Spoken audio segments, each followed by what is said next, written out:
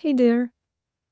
In a previous video, I showed you how to track HubSpot form submissions using Google Tag Manager, and I received a question asking how can you track separate forms? So if you have a contact form, a download form, a demo form, and so on, how can you distinguish these forms using the same setup? So HubSpot form and Tag Manager for data tracking and collection. So this is what I want to show you today and I'm not going to walk you through the entire process because I already showed the first part, like how to track HubSpot form in generals. I showed that in the previous video.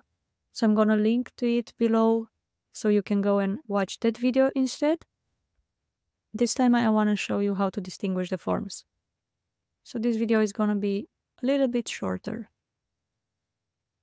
You can now see my screen and I'm in Google Tag Manager and I have my HubSpot form open as well. I'm gonna work with the contact form. So you see here that I have my previous event, so the form submission listener, and I created a new one for the contact form submission listener because I wanna isolate this particular form. I will just open this and show you the code snippet. This is the same script that I used in the previous video for the general forms, like to capture all the forms or to listen to all the forms.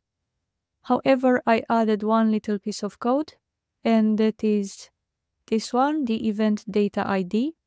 And I do this because I want to only capture or to only listen to the form that has this specific ID. And you see that I am firing this event only for the form ID B5 and so on. So I will show you where I got that ID from. If I go to my HubSpot form, uh, I can do this in two different ways. So I can either click here, edit form.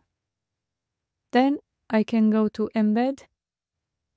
And from here, click embed code and go to form ID. You can either copy it from here, but it's a bit annoying because it will copy all the code snippet. So I prefer to do it in a different way if I go back to my forms and take the contact form. And then here in actions, I click view, view form. And then I have my form. I do right click and then inspect. And with this, then I go to form ID here to isolate the form and I take this data form ID. So not the first one, not form ID that starts with HS form and so on, but this one, data form ID. So I just copy paste this one. It's already here, but I'll do it again just to show you.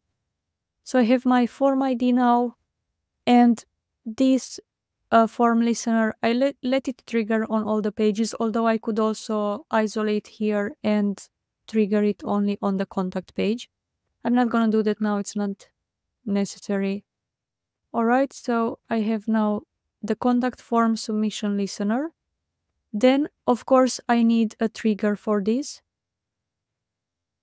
So I have it here set up for contact form success. When the form is successfully submitted, the event name is HubSpot Form Success, and this is just coming from HubSpot. I explained it in the previous video, so please go ahead and watch that video if you don't understand the, the process. And I am only triggering this form success event for the form that has this ID. And here I used the data layer variable created in the previous video instead of the form ID. Uh, you can also do it with the page path if your page path stays the same. If you are redirecting users, for example, from a contact page to a thank you page, then you cannot use the form. Uh, you cannot use the page URL because the page URL will change, so you cannot set it on the page URL contact or so.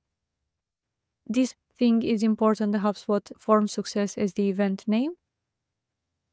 And then the last thing here, we have we want to send the successful submission, we want to send it to uh, GA4 as well. So I created the contact form success event in the same way that I had the HubSpot form success for all the forms. And here you see that the event name is generate lead. It is just created by me. You can name it whatever you want, but it's quite clean. Uh, and then the the trigger actually here is not HubSpot form success. So I'm going to remove this one and get the contact form success because I want to send only the contact event. That's pretty much it. You can repeat this process for all your other forms. And like I mentioned, if you haven't watched the previous video, I will link it below. Go ahead and watch it and feel free to post your questions in the comment section if anything is not clear. Thanks a lot for watching. If you found this useful, please like the video and subscribe, and I will see you in the next video.